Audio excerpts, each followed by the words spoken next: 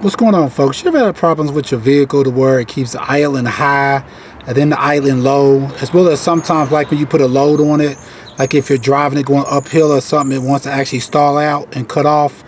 A lot of times the issue could be is your idle air control valve is bad or either dirty.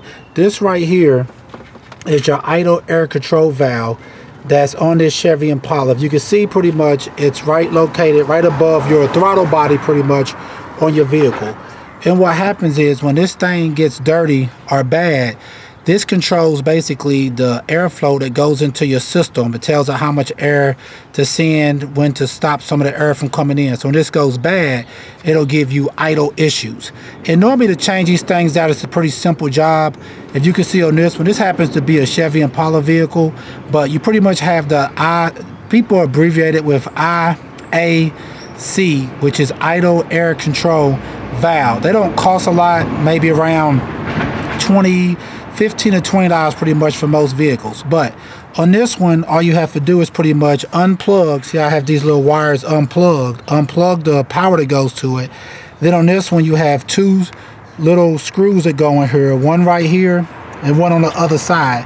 These happen to be uh, torque bit screws. I believe for the Chevy Impala, it's a 5 and 32 millimeter small pretty much that you may need to take this one out but it's a pretty simple job. All you got to do is just basically remove this screw remove this screw and unplug it from right here and you should be able to get this out. Sometimes it's a little complicated to get this screw over here so you may want to go ahead and remove this bracket right here by taking these screws out and then you should be able to easily take this screw out right there as well as get this screw out and this whole idle air control valve will come off and you can replace it all right folks once again if you're having an issue with your car to where it's idling high or idling low or it goes both or sometimes it's high sometimes it's low the issue could be is that your idler air control valve could be bad pretty much which is what this is right here so if you look on your vehicle and you look around your throttle body which is what this is right here normally you'll see something